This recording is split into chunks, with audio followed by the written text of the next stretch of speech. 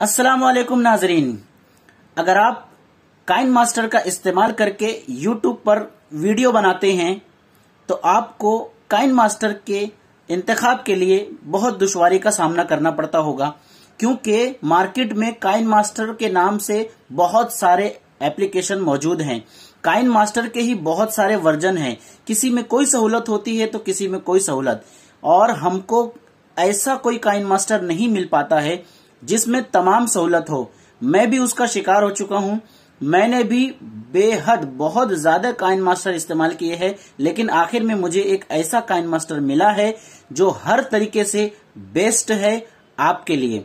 अगर आप नए हैं, काइन मास्टर का इस्तेमाल नहीं किए हैं, तब भी आप इसी तरीके से उस काइन मास्टर को लोड करेंगे और उसके बाद इस्तेमाल करेंगे। चलिए मैं आपको बताता हूँ कि उस काइन मास्टर को किस तरह लोड करेंगे।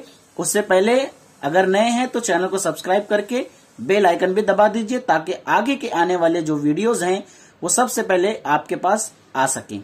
चलिए। तो सबसे पहले आप अपना क्रोम ब्राउज़र ओपन कर लेंगे। वहाँ पर सर्च बार में आपको लिखना है digit bin dot com digit space देकर बिन डॉट कॉम और सर्च करेंगे। सबसे पहले नंबर पर जो आएगा, उसी पर आपको क्लिक करना है। जैसे ही आप क्लिक करेंगे तो डिजिट बिन की ये साइट ओपन हो जाएगी। उसके बाद आपको करना ये है कि स्क्रॉल डाउन करते हुए जाएँगे और जैसे ही आपको नज़र आएगा गो टू डाउनलोड पेज, इस पर आप क्लिक कर देंगे। इस पर आप क्लिक करेंगे तो काइन मास्टर के जो लेटेस्ट वर्जन है, वो सबसे पहले आपके सामने आ जाएँगे। इसमें से जो सबसे पहले नंबर पर है वो लेटेस्ट वर्जन है 5.0.8 96 एम में। इसी को आप डाउनलोड करेंगे। इस पर आप जैसे ही क्लिक करेंगे, ये डाउनलोड होना शुरू हो जाएगा।